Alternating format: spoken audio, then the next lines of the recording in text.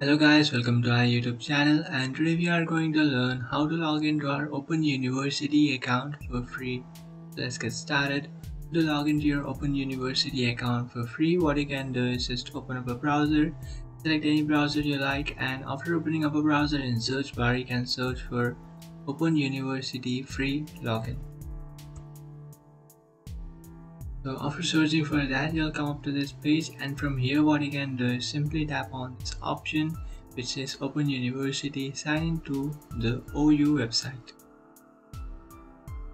So after tapping on that option, now you'll come up to this page and from here what you can do is just simply enter your account's username.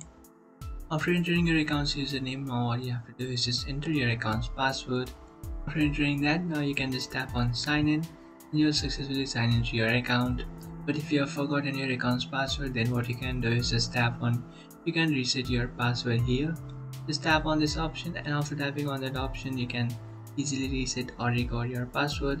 And after resetting or recovering your password you can just come back to this sign in page and then re-enter that password that you have just recovered and then tap on sign in and after tapping on sign in you'll successfully sign into your account. But if you can't recover your password then what you can do is just simply tap on create a account if you don't have an account, you can also tap on create account and then create a new account.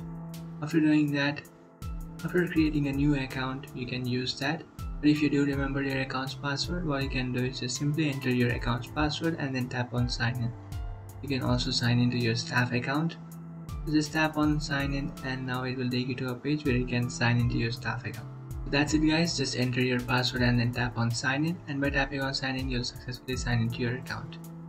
So if you have any doubts, feel free to comment. If you think this video was helpful, don't forget to like and subscribe to our channel. If you have any doubts, feel free to comment below. Thanks for watching.